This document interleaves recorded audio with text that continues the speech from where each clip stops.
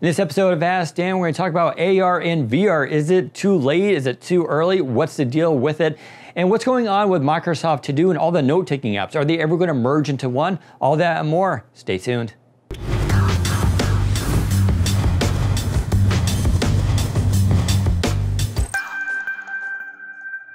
Would it be possible to connect an external GPU to the Surface Go through the USB-C connector? So we recently reviewed the Surface Go, and I did address this in that review, but still, I know there's a lot of confusion around Type-C and Thunderbolt 3 and what you can do with it. So no, the Surface Go has a Type-C 3.1 port, it has display, it's power. It's actually a very good port, but it does not do Thunderbolt 3, so that means you cannot connect it to an external GPU. And to be honest, it doesn't really make that much sense for a device that costs this little, but there's also hardware limitations here. This is running an Intel Pentium chip, and as far as I know, Thunderbolt 3 is not supported on this chip slash motherboard, and that's really the restriction here.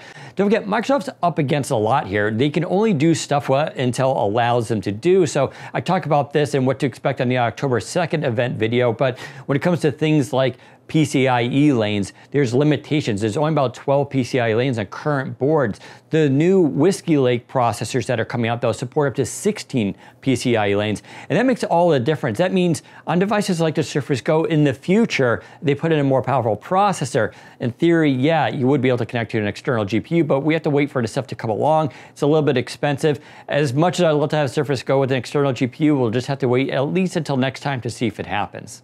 Is AR or VR already becoming an afterthought in the tech world and for consumers?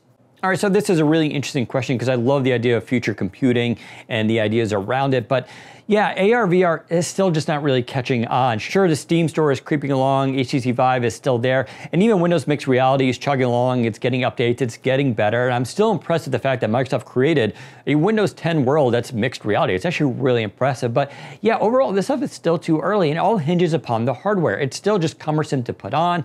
It's an experience to get wired up, you gotta be in your home. And I really think that's the issue right here. Even myself, I have a multiple of these headsets and I barely ever use it. But then when I do use it, I'm always blown away by how cool it is. But for your average consumer, I don't think this makes a ton of sense. I think a lot of this will depend on that hardware shrinking down, just becoming easier. When I think about like the new show on Hulu called The First, there's a scene where Sean Penn puts on basically sunglasses and you can watch video with them and experience different realities. And to me, that's kind of be the threshold for this stuff. It's when it's so easy, you just put on glasses then I think that's going to be the real turning point. But we're still far off from that. That doesn't mean, though, these companies should not be investing in it, creating the technology behind it to make it happen. You don't want to wait for the hardware to show up and then all of a sudden have to create all the software around it. So I think Microsoft's doing good here. But yeah, temper expectations around this technology. Do you have any news on when or if the Edge browser will move into the Microsoft Store?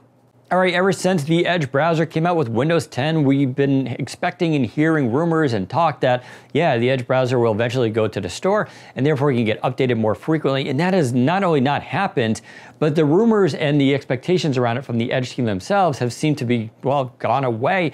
And as far as we know, no, there's really nothing new to report on this topic. We'll try to find out more at Ignite in the coming weeks for Microsoft when we talk to them and maybe at Build next year. But I think some of this may hinge on Polaris and the idea of Windows Core OS. Maybe they can decouple Edge from the OS experience at that time. But right now, Edge is tied really deeply to the OS experience, and it's a big shame. I agree 100% with you, and for everyone who wants this in the store, the idea of being able to update Edge seems to be a better way to compete against Chrome, which, you know, you can say what you want about Google, but they do update Chrome a lot, and that's part of the reason why it's so popular. They have a very incessant pace about how much they update this, and Edge needs to really compete. I'm not sure waiting on quarterly or bi-yearly releases is really the solution here. Will Microsoft ever merge its multiple to-do apps? All right, it's one thing you can accuse Microsoft of is having redundancy. So they have seemingly a lot of apps where you can take down notes and jot down things. You have sticky notes, you have to-do, you have Wunderlist, you have OneNote. And there's definitely overlap between those, but they also have distinct usages. Now, while I was in Berlin for IFA 2018, I was privileged to be able to stop by the Microsoft office where they do work on to-do and OneNote and sticky notes at this place. And it's also the former Wunderlist team. So if you don't know, Wunderlist was bought by Microsoft and that team has been folded into a larger one that's part of OneNote, and they've now created To Do. Now, To Do is actually replacing Wunderlist. Wunderlist is on hold. To Do is getting all the new features, and we're actually starting to see new features coming to To Do that a lot of users have asked for. It just got live tiles and now has direct inking support in it, and there's a lot more around it that's coming. So the question is, are they going to merge all these, or what's going on with it? And part of the problem here is when you look at something like Microsoft Launcher for Android, it has a to-do widget in it. So think Microsoft To-Do? Well, no, this is a separate to-do. This is like just a generic to-do. And how does something like that happen? So when I actually asked the to-do team about that, even they were kind of surprised about Launcher having that. And this goes to show there's still problems, I think, in Microsoft with organizations. Now, they did just go through a reorg, so a lot of this is being figured out. But yeah, sometimes you have different teams who, if you're on a Microsoft team and your goal is to create an awesome product, you want to do that. And you don't really care what the other guys are necessarily doing. You want your product to be the best. So the Launcher team, I think, did their own little to-do note-taking thing.